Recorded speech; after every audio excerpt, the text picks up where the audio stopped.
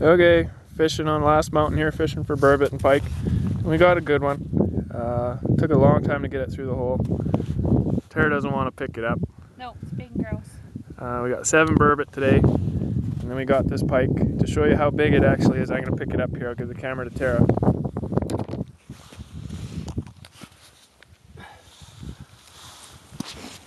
If I had to guess, it's probably 16 to 18. You see she's leaking eggs there. We don't want to keep this fish, so we're going to let her go.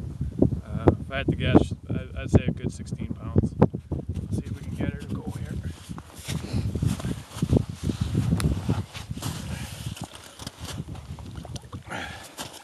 She fought really hard, had a hard time getting her started in the hole. We'll give her a bit here.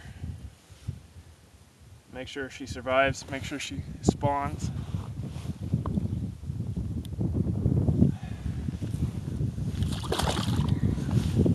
Well, maybe now that she's showing some life, I'm gonna just give her a little push.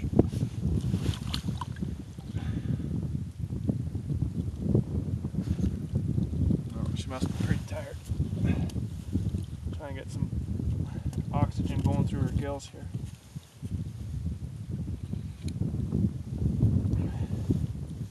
She's only out of the water for maybe a minute.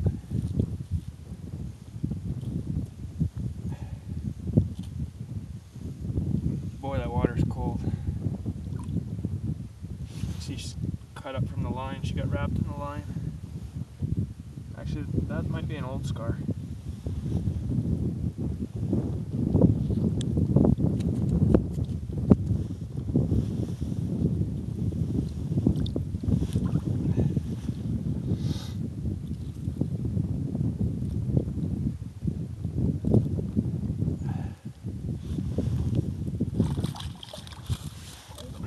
Oh, out on her own.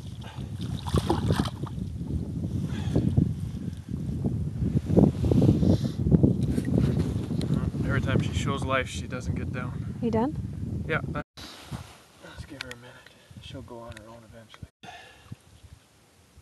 Oh, it's still taping somehow. You have to hit the record button on the